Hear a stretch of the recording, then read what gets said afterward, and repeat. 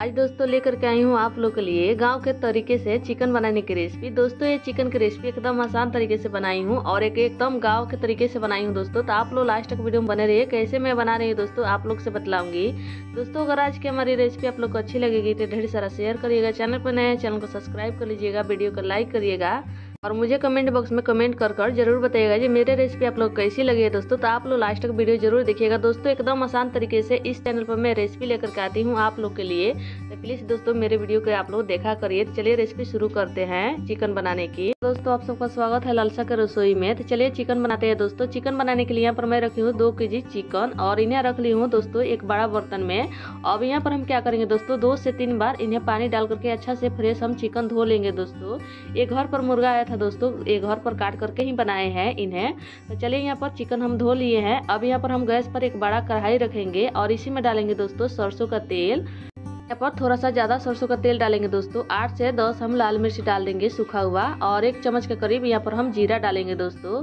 और इन्हें अच्छा से हम फोरन को लाल कर लेते हैं। दोस्तों, ये रेसिपी अगर आप लोग एक बार बना लेंगे ना तो घर पर आप लोग इसी तरीके से बना करके बार बार खाएँगे। अब यहाँ पर दोस्तों, एक के जी यहाँ पर प्याज हम काटे हैं इस तरीके से लंबाई में, और डाल देंगे जैसे ही फोरन लाल हो जाएगा उसी टाइम में। डालकर अच्छे से प्याज मिक्स कर लिए हैं। यहाँ पर दोस्तों, स्वाद के अनुसार हम नमक डालेंगे। तो यहाँ पर तीन चम्मच में नमक डाल रही हूँ, और नमक डालने के बाद में अच्छा से मिक्स कर लेंगे। दोस्तों, इस टाइम में अगर आप लोग नमक डालेंगे तो यहाँ पर क्या होगा, प्याज जो है अच्छा से गलेगा।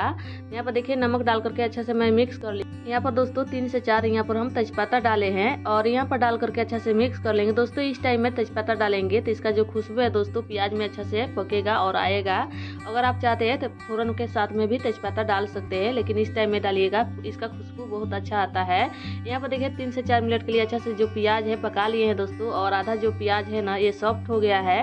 अब यहाँ पर इसका हम मसाला तैयार करेंगे। दोस्तों, आज हम डालेंगे सिलवाटा पर मसाला पीस करके। किलो चिकन के लिए दोस्तों यहाँ पर लगभग 20 मार्चा रखे हैं लाल मिर्च और यहाँ पर देखिए दो से तीन चम्मच है जीरा धनिया, चार गेठा है लहसुन का, एक चम्मच है कलौजी।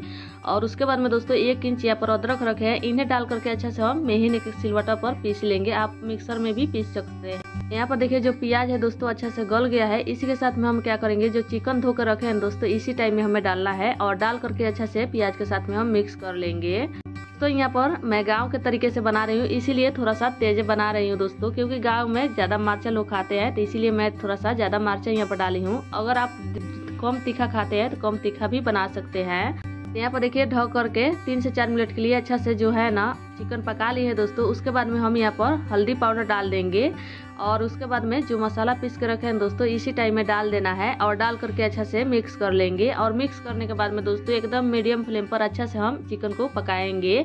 अच्छा से मसाला जो है पक जाए और अच्छा से जो है हमारा चिकन भी गल जाए दोस्तों। दोस्तों, अगर आज की हमारी रेसिपी आप लोग को अच्छी लगेगी तो ढेर सारा शेयर करिएगा। चैनल पर नया है, चैनल को सब्सक्राइब कर लीजिए वीडियो को लाइक करिएगा और ढेर सारा शेयर ज़रूर करिएगा दोस्तों। और मुझे कमेंट बॉक्स में कमेंट कर ज़रूर बताइएगा जी मेरे चिकन की रेसिपी आप लोग कैसी लगी है? यहाँ पर देखिए, दस मिनट दोस्तों पकाते हुए हो गया है और यहाँ पर देखिए, जो मसाला है अच्छा से पक गया है और जो प्याज है ना, वो भी गल गया है दोस्तों, थोड़ा बाकी है। यहाँ पर हम क्या करेंगे, थोड़ा सा पानी डाल करके इन्हें भी अच्छा से हम भूनेंगे। जैसे जैसे भुनाएगा दोस्तों, प्याज जो है एकदम गल जाएगा। और यहाँ पर जब आप सूखा खाना चाहते हैं तो इसी टाइम में निकाल करके खा सकते हैं। और यहाँ पर ग्रेवी वाला बनाना चाहते हैं दोस्तों तो यहाँ पर पानी भी डालिएगा ज़रूर। पर मैं आधा सूखा निकाल दी हूँ दोस्तों, और आधा में हम ग्रेवी वाला बनाएँगे। तो यहाँ पर देखिए अच्छा से जो है मसाला भुना गया है, तेल छोड़ना स्टार्ट हो गया है दोस्तों। तो यहाँ पर ग्रेवी के लिए हम पानी डालेंगे। तो आप मोटा पतला बना सकते हैं अपने अनुसार से। तो यहाँ पर मैं दो गिलास पानी डाली हूँ दोस्तों, और अच्छा से इन्हें हम उबाल लेंगे। पानी डालने के बाद में अच्छा से हमें पकाना है दोस्तों। यहाँ पर देखिए, ज़्यादा भाप निकल रहा है, इसीलिए दिखाई ज़्यादा नहीं दे रहा है। यहाँ पर पानी डालने के बाद में दोस्तों पाँच मिनट मैं पकाई हूँ। पाँच मिनट के बाद गैस बंद कर लेंगे और इसी में हम थोड़ा सा हरा धनिया काट करके ऊपर से डाल देंगे होगा तो ज़रूर डालिएगा दोस्तों, क्योंकि इस टाइम में तो हरा धनिया हर बाज़ार में मिल रहा है, गाँव में भी मिल रहा है। तो यहाँ पर मैं हरा धनिया काट करके डाल दी हूँ और इनका ग्रेवी देखिए दोस्तों, कितना टेस्टी हमारा मासू बन करके तैयार हो गया है। दोस्तों फिर मिलते हैं अगले वीडियो में नए रेसिपी के साथ, तब तक के लिए बाय बाय और इस तरीके से अपने घर पर